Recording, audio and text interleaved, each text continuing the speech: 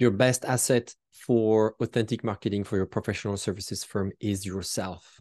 I've been following many conversations on the topic of marketing for professional services business, and I am noticing how everyone is recognizing that our business world is so overwhelmed, so cluttered with information that is now powered and sent by more and more machines, more and more algorithms. Automation is not a new thing in this world. It has been on going on for a long time now, but now it has gone to proportions that we can't bear anymore. We have a hard time differentiating or figuring out how to align with our audience. And in this world, I am very happy to notice that still there is room for things like an email list written by an actual person. And it actually hides another good news, which is that it has never been so easy to tap into your heart, your spirits, your personal voice, your authentic thoughts to craft and explore collaboratively with your audience your thoughts. So there are so many ways for you to cut through the noise now, to just launch uh, an email list. Um, take a tool like a Substack, for for example. I I just opened an, a Substack account uh, not very long ago, and I'm exploring the idea of uh, starting sending my emails from Substack because it's so easy and it seems to get people, artists, thinkers, writer closer to the audience because it combines the power of, of emails and also comments and reaction that are features that you find on social media.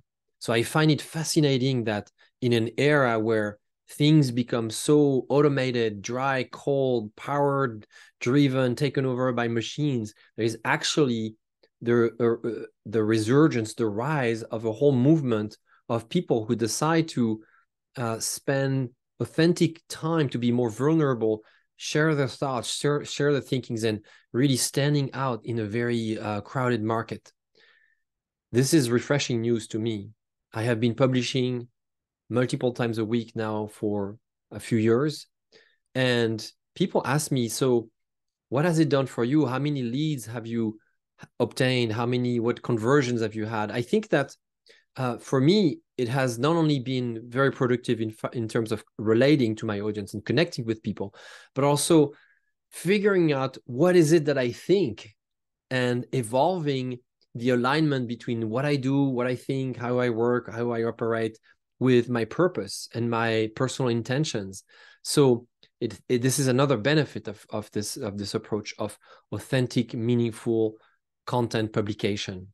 I've been talking about in uh, previous videos, and I have also a course for this. So, but my point here is to highlight highlight a possibility to look at uh, writing meaningful publication uh, in a way that still works and actually works better than before. I believe that uh, if you really put the time in to start something simple, to invite people to comment and to construct expertise with you, not just show up as the expert that knows it all, but somebody who is willing to uh, bring in the power of questions, bring in the curiosity, bringing the open mindedness, the vulnerability in their writing to ask questions that they don't have answers to and inviting therefore an audience to contribute to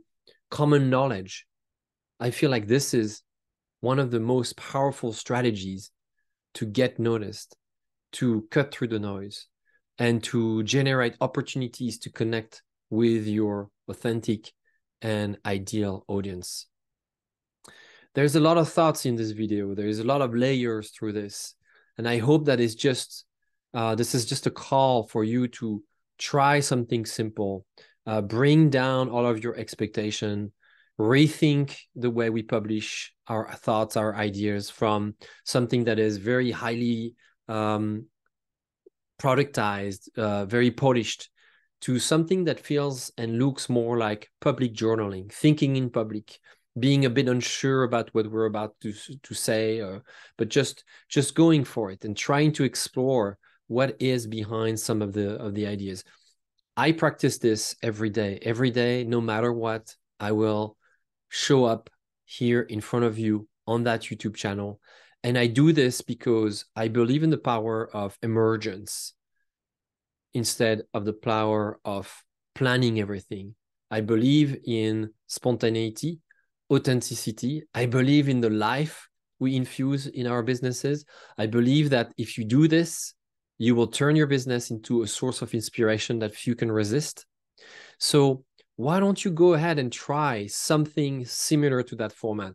I know you've been waiting for a while now. I know that it has crossed your mind, but you kind of hesitated. Maybe this video is um, for you a message that validates what you were thinking.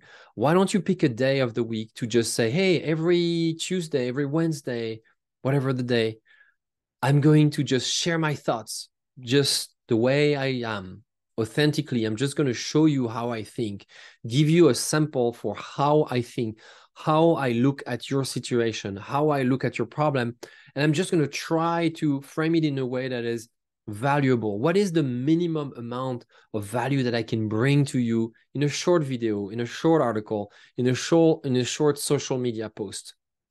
After all, we're just humans trying to connect with other humans. So why wouldn't we start with this instead of of thinking about funnel and sequences and automation and triggers and and things that feel that you know it belongs to um, big machines. I think that those mechanisms work really well for incumbents in the market, well-established companies big, large organizations, large consulting firm, large engineering firms that want to sustain a, pre- a presence um, on autopilot, if you will. But if we combine this with the power of authentic relationship, authentic connections,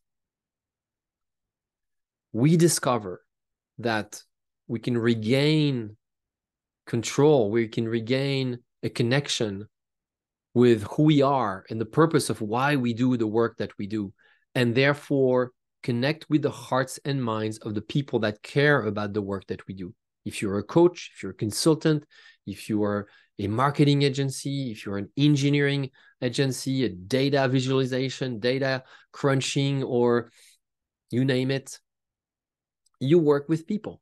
So the basis of your business relies on your ability to create those connections and your marketing is the place to do that.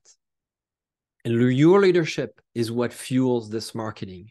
So don't hide behind all of those automation sequences funnel that I just talked about. Just don't don't just do that. Show up as you are. There there has never been such an easier, better, uh, more suited time to do this. Your voice matters. Your voice matters more than before because you can shape the conversation through a frame and a narrative that makes your work just unique and uniquely yours. Now, how do you discover it? How do you know that you are authentically speaking to the right audience? Well, you just show up every day. There is no other way. Nobody can tell you what to do. There is no way to predict it. But if you just show up every day with your authentic self, like you're warm, you're you're yourself, you're candid, maybe you're rough around it, whatever style you want. You will build a point of view. You will build a, a perspective. You will, be, you will build a style that differentiates you from anybody else. Why? Because there is only one of you, one of you. So, how do we call this? Human to human marketing. I think that concept already exists but maybe it's what it means. I I haven't I didn't research it. It just came to my mind. Someone told me about this concept: human to human marketing, heart to heart marketing, energy to spirits marketing. Marketing is an exploration. So go ahead and try and let me know how this works for you. Start your email list, start your YouTube channel, start your your social media presence today, but show up as you are.